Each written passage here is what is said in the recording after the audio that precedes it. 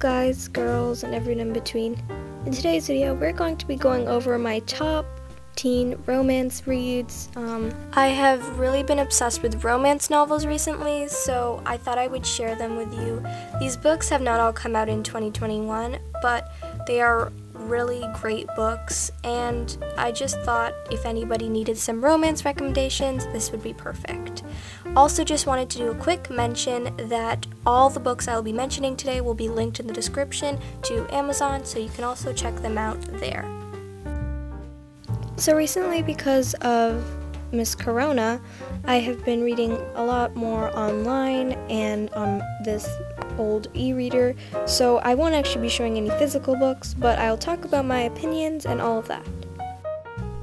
Okay, so let's get right into it, not waste any time, and my first book of today is The Voting Booth by Brandy Colbert. The official summary is Two first time teen voters meet at their polling place and fall in love over the course of one crazy day. I'm going to give it a 4.5 out of 5 because of its awesome characters, great plot line, and the romance was on point. Okay, on to the next book of this video, and I just wanted to mention that the next few books have all been turned into movies, so search them up online to find which services offer them because they all are on different services. So now let's talk about Everything Everything by Nicola Yoon. The summary for this one is a bit long and I don't want to bore you guys, so I kind of shortened it and made it my own. This book is about a girl who is basically allergic to the world. Her life changes one day when she meets the boy named Ollie who moved next door. Maybe we can't predict the future, but we can predict some things. For example, she is definitely going to fall in love with Ollie, and it's almost certainly going to be a disaster. I rate Everything Everything 4 out of 5 stars. It's a little lower than The Voting Booth just because of the ending, but it's still an awesome book, and none of these books will be rated less than 3 stars, but this was a great love story, and I loved it. Okay, so here is one of my all-time favorites, which is also from Nicola Yoon, and this one is called The Sun is Also a Star. I just finished watching the movie. I was really disappointed the movie, so I highly recommend you read the book and then watch the movie. Now for the summary.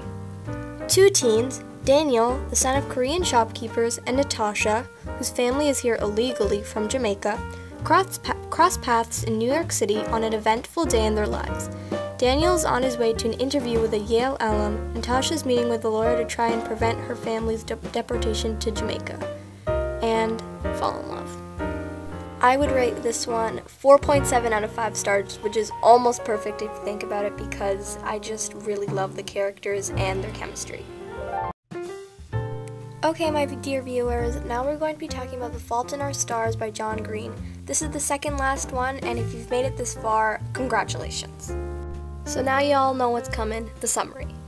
Despite the tumor shrinking medical miracle that has bought her a few years, Hazel has never been anything but terminal, her final chapter inscribed upon diagnosis. But when a gorgeous plot twist named Augustus Waters suddenly appears at Cancer Kids support group, Hazel's story is about to be completely rewritten. I rate this book 4.3 out of 5 stars because I really like their journey in Amsterdam. So, we have made it now to the final book, which is Dash and Lily's Book of Dares by Rachel Cohn and David Levithan. This book is a whirlwind romance as Dash and Lily trade dares, dreams, and desires in the notebook they pass back and forth at locations all across New York City. But can their in person selves possibly connect as well as their notebook versions, or will their scavenger hunt end in a comic mismatch of disastrous proportions? My final rating is the lowest of today, but that is only 3.5 out of 5 stars. Also, it has been made into a show on Netflix, which I will be watching for sure. Okay, my dear friends, we have made it to the end of my top teen romance reads. Um, here is the full list on screen. I hope you guys liked listening to my ratings and summaries. And just as another mention, all of these will be linked in the description to Amazon. So go check those out there, and you can also see the longer summaries that I couldn't mention. Thanks for watching this video. It means a lot, and if you want to see more from me, you can click on the videos that are going to be popping up and hit that subscribe button because that's what everyone says, so I'm gonna say it too.